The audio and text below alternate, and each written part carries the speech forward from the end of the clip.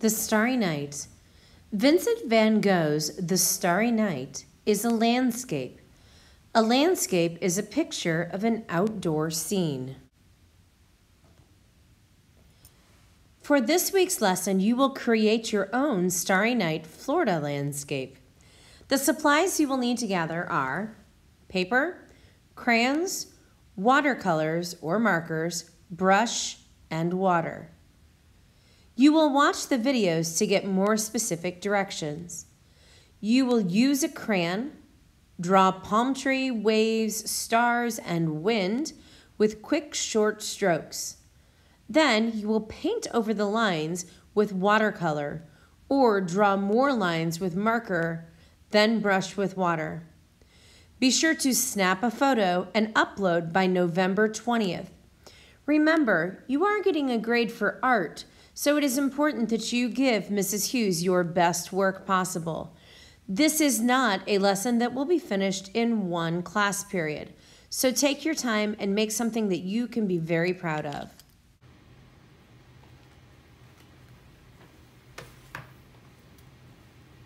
You have been learning about different European artists. Europe is a small continent, but big in the art world. Vincent van Gogh is one of the most famous painters in all the world. This is his Starry Night picture. We're going to use this to help us draw our own Starry Night picture. You will need crayons and paper. Since we live in Florida, we're going to put a palm tree in our picture. This was a tree Vincent saw when he looked out his bedroom window. But we live in Florida, so let's do a palm tree. You want to use quick, short strokes to capture the energy that Vincent showed in his paintings.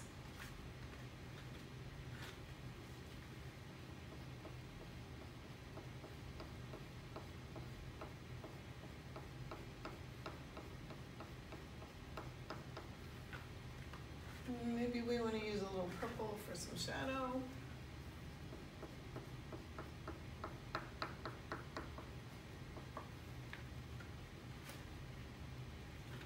Near the bottom here, we could put some rolling waves.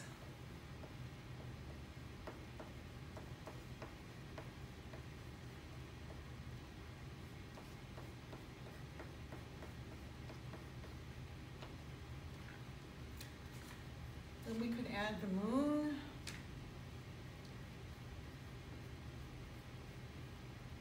Stars. I'm gonna be like Vincent. Draw some dots first. And go back and add some short lines around the moon and stars. To capture that energy.